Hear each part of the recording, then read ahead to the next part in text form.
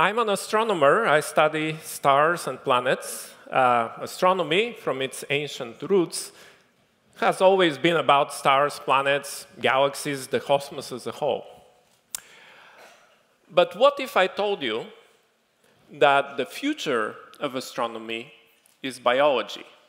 Yes, biology. Let's see why. It is a part of a story that has been building up over the past 20 years. But in the last year, things have come to a head, and I'm here to share some of them with you. First, nine months ago, NASA launched a new space telescope. We call it the TESS mission, and it follows up on a previous space telescope, uh, the Kepler mission. I'm honored to be on the teams of both of these missions. And uh, what happened is the previous mission, the Kepler mission, really brought a revolution to the field of astronomy. It uh, established beyond our expectations that there are more planets in our galaxy and in the cosmos than stars. It established that there are more than um, 3,500 planets that we can study right now, and the number is growing. But more importantly, one uh, historical result of the Kepler mission was to show that every two out of 10 stars in our galaxy host a planet just like our own Earth. Every two in 10 stars. This makes for a staggering number of 1 to 10 billion Earths in our Milky Way galaxy. So TESS is the next step. And three weeks ago, we showed the world our first uh, tally of planets, just a few to start with, but the number is quickly growing, and in the next months and the next 10 years, you will see thousands more. This whole new development in astronomy has an overarching goal from the very beginning. And that overarching goal has been the search for alien life beyond the solar system, the search for alien biology. And TESS is the mission that is going to provide the targets for this search. So, how do we achieve such a lofty goal? to find life on other distant planets? The answer is spectroscopy. It is our established way to rem use remote sensing to find those faint signals of different gases in the atmospheres of very distant planets like the one we find around other stars, the exoplanets. In this particular case, you see uh, the specific gas that we are targeting now, which is oxygen gas learning from the history of life on our own planet, Earth, oxygen is a good marker. But there is little less in our toolbox. And that is a potential problem. Because what if life on other planets didn't follow exactly the same history? What if the biochemistry underlying life on other planets is slightly different? These are quite uh, possible cases, and are we prepared for them? This is when our team um, got together and started working in the lab. It is a team consisting of several co collaborating labs trying to uh, build a chemical system that functions like life, like a living cell. Uh, we call it the Minimal Protocell Project, and we know that this living system will have to consist of three basic subsystems, each of them corresponding to a specific molecule with the names that you see written there. In addition, uh, those molecules will not have to just self-assemble there, they will have to be able to self-assemble, self-repair, and finally self-reproduce. Like life, as we know it, and life as we expect it, so that it can propagate and sustain itself. And thus, we focused our attention on one of those specific molecules, which is called RNA, the cousin of the well-known DNA molecule that each one of us, from virus to elephants, every living thing on Earth has RNA. And so what we are trying to achieve is to understand the self-assembly of RNA surrounded by a membrane, which self-assembles around it. And then, because we know RNA is both a genetic molecule, like DNA, it carries the information for future copies of uh, this living cell, as well as has biological function that allows it to make a copy of itself without outside help. DNA cannot do that. RNA is an ideal example of what we call the initial RNA world hypothesis. We also knew that RNA can assemble itself readily, provided there is some UV light uh, uh, in the system. And that was established almost 10 years ago by John Sutherland in England. So RNA, like DNA, is a chain molecule. It consists of individual identical units, four of them, which line up in a string. And if you provided uh, UV light to that system, it will do so by its own devices using the energy coming out from the UV light. So the first thing we did with that knowledge, we tried to understand the curious need for UV light. We knew it needed energy, but the question was, what exactly was the UV light that was needed? And the first thing we found is that it was a very specific UV light that was necessary. So let's see if you know your UV light. You, of course, have to, because you have to be careful, especially in the summer.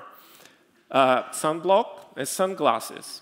Perhaps some of you read the fine print and already know about UVA, UVB, and UVC light. Well, what we found is that the self-assembly of RNA and now of other of those three basic subsystem molecules requires UVC light, specifically UVC light. The second thing which we found is that UVC light reaches the surface of the early Earth. We could tell that from the geological record and being able to see that. Now we have gone one step further and uh, expect that other Earth-like planets will also allow UVC light to reach the surface in the amounts that are necessary to self-assemble the building blocks. So in the lab, we have been able to see this self-assembly in one of our uh, collaborator labs, the Jack Szostak lab. You see here RNA assembling and growing, that is the green stuff in the red uh, membrane vesicles, the little uh, bubbles that look like protocells, growing inside, being built from individual units that are being synthesized simultaneously outside of the cells. And so we can put a check mark on the first step. We now understand and can see in the lab self-assembly of all the necessary building blocks. But we have two more to go. And if we are going to get to the self-reproducing, which will be necessary ultimately for this to be like a living cell, we have to be able to sustain those little chains of RNA and other molecules long enough. And for that, we need to understand the function of self-repair. Self-repair is very common to life. In fact, it's a defining property, both at the level of sophisticated organisms like us, all of you know that when you cut yourself, the wound eventually heals. But this is a, a, process that goes all the way into the cell itself and then to individual cells and individual molecules. But what is the concept of self-repair for an individual molecule? For this, you have to go to the lab and use equipment which is somewhat sophisticated and modern. On one hand, are the boxes which reproduce the light that comes from the early sun or other stars. And this is the UVC light that we talked about. On the right-hand side is where we have the sample which simulates the planet conditions, the conditions on the surface of the planet. In addition, this equipment allows us to see the molecules in their natural habitat, which means at their natural time scales, the daily routine, if you will, of individual molecules. Molecules are extremely small, they're the size of just a few atoms, and hence, their daily routine takes a lot shorter time than a full day for us. A lot shorter time.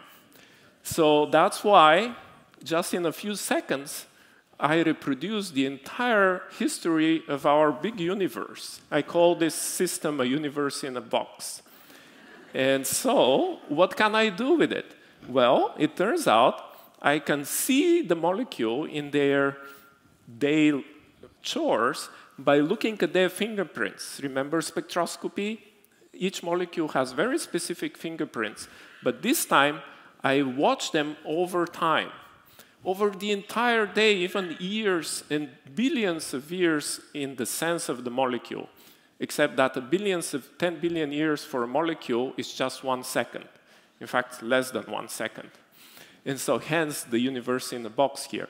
But what is more important, uh, what happened for the first time, it we realize that the synthesis and the creation of the building blocks of life can be reproduced in the lab over a period of seconds, minutes, a day, as opposed to the old idea that maybe this process took millions of years. No, we can see what's happening in seconds if we know how to look and if we look fast enough that we can see what happens to a molecule. And what we found out was a very profound insight. It is the chemistry that produces these hundreds and thousands of molecules, but just a few of them selected, the others are eliminated by the UV light. They're destroyed because only a few of the molecules are stable to both be synthesized and especially to survive and self-repair in the process. Guess which are these molecules? They're the same ones which are still in our bodies. The RNA, the DNA, the amino acids, just the 20 ones that are stable. All the others are not, and they go ju just like the marble with the remaining sculpture in the middle. And so, for the first time, we started understanding how a chain like the chain of RNA with the individual units stacked, we call it base stacking, which would damage by the UV light, which was the paradox. You need UV light to produce it, but it damages you because it produces this red current of electricity when the UV light hits you, is actually able to self-repair itself because it's able to fold and make a double helix. It is that folding, the base pairing, as we call it, that leads to the repair and the unique property of the molecules that actually end up building life. So where we are, we now have checked both self-assembly and self-repair, understood the UV light paradox, that you need UV light but it destroys life. Yes, but it only destroys the bad molecules, leaves the ones that are here today. The next final step, self-reproduction under these conditions, is a formidable task, but it's now near at hand because the self-repair was the necessary step to get to this. So now we can summarize what we have learned. And what we have learned is profound from the point of view of building the, lab in, uh, the life in the lab. But what good is that to the astronomer? So let's go back and look at this statement with the eyes of the astronomer. And if you do that, you will see in this statement a map with clues which tell you the path to what you're seeking. The first one, born of stellar UV light, tells you that you have to look for stars which produce enough UVC lights, and not all of them do. So you have to find rocky planets orbiting those kind of stars. The second thing is that the planet itself has to be allowing just the right amount of UVC light to the surface. So CO, uh, car carbon dioxide is okay in the atmosphere, but too much sulfur will block it. So what has happened is we have managed to narrow down the search for the planets that we are going to study. One TESS provides us with those uh, uh, new planets close to us that we can do spectroscopy on. And because we know from Kepler that there's so many of them, the future is very bright for this search. The most amazing part of it is that we live in a time when within our lifetimes we'll be able to answer, at least try to answer, the biggest question, are we alone in the universe? I think we are lucky to be alive. Thank you.